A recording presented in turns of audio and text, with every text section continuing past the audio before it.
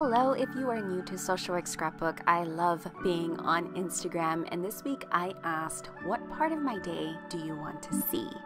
I got many great responses, so let's get started into this vlog directed by you.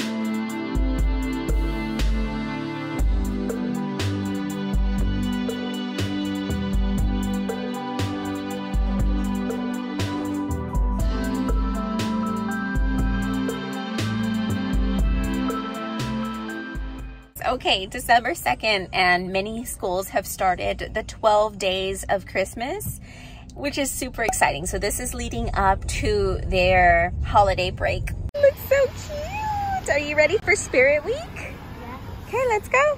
So, little one had a Rudolph reindeer nose because it was Christmas accessory days, and I think it's the perfect day for a little Rudolph nose. I wish I had a Rudolph nose right now driving in this fog. I just got to my first campus of the day, but I do want to mention that these holiday dress up weeks, cute as they may be, they are really great attendance interventions, like school-wide attendance interventions, because students want to show up to school to show off their holiday accessories, want to see their other friends dressing up. Whenever you can create spirit weeks for the whole school, you usually have pretty good attendance rates. I have done this at the high school level with some really good outcomes. We also gave away prizes and gift cards to those that were dressed up. Food is always a great incentive.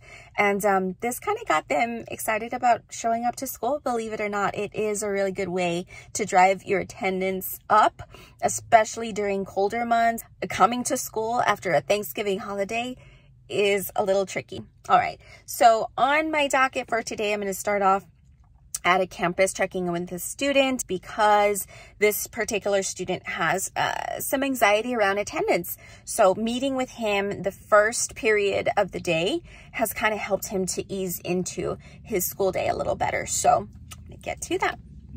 I check into a few different campuses around my district. I hold a caseload of around 15 students that I meet with to work on a number of different behavioral issues and mental health issues. I check into the counselor's office most likely to send a pass for my student, and while I'm waiting, I go ahead and set up the counseling room or whatever space they have available for me. I want to make sure I have something like a fidget toy, some tissues, and I situate the space to make it feel safe and comfortable.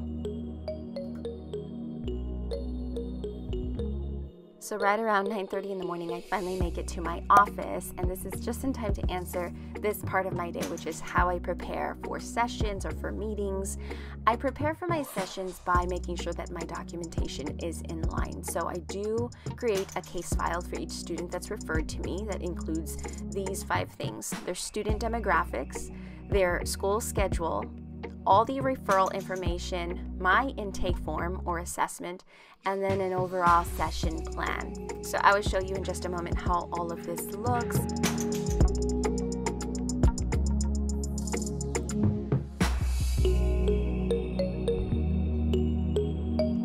So what I'm bringing up right now is my session schedule. This keeps me on track. I do provide short-term solution-focused type sessions with the students on my caseload. So this consists of six to eight, maybe 10 sessions with each student, and then I attempt to refer out if further services are needed or medication.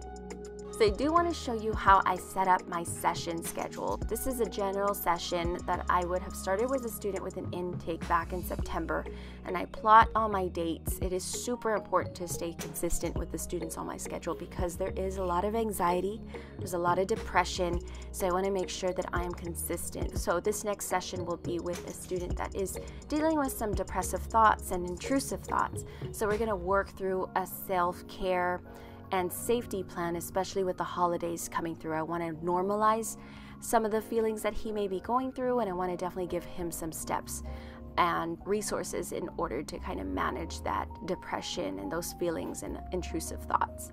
I do keep a little file folder on each different mental health diagnosis or behaviors that I see, just with a bunch of my resources in there. So, this depression self care plan I will add to my depression folder.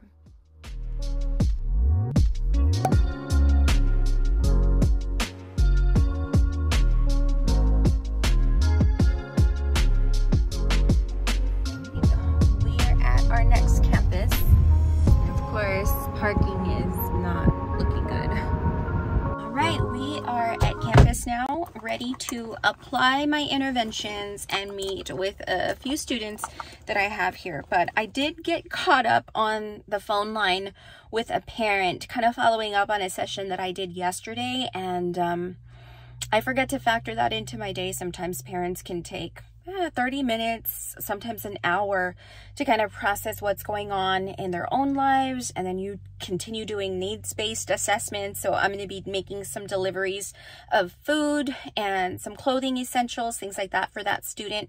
Um, so it's always good to follow up with parents, but I keep forgetting to factor that in. So I'm going to get the one session scheduled in today. I have about an hour left till the end of the school day until this parking lot is flooded with um, kids and parents and everything goes crazy and haywire here. So we're going to jump onto campus right now and um, I'll bring you along. There's major construction happening on some campuses.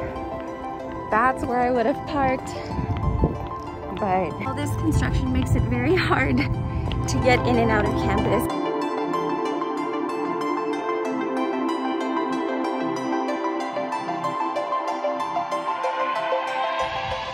One of the most frequently asked questions that I get is what exactly do I say or how do meetings with clients look?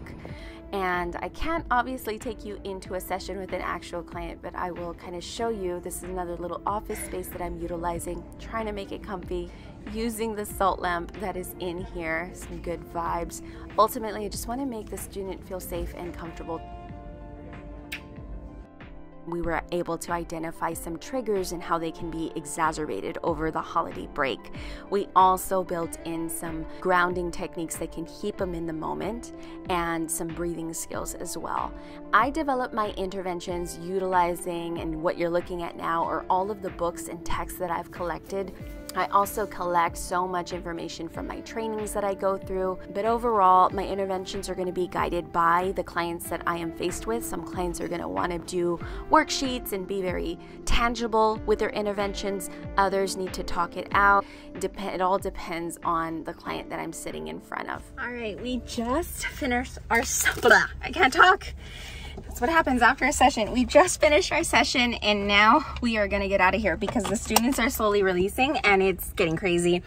The parking lot is full. And yeah, I can see students are coming out already. So we're gonna try to beat, beat all the traffic madness and I am rushing to get back to the office to document my wonderful sessions from the day.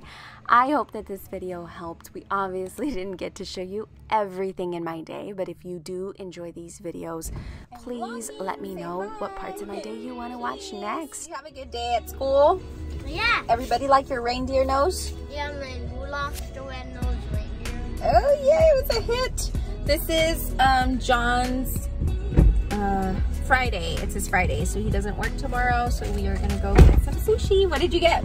Masks. What kind? Christmas masks for the kids. Yay! Give me one now. Ow! Stop making it look hard as a rock. I'm not making it look nothing. Is it hard as a rock? Yes.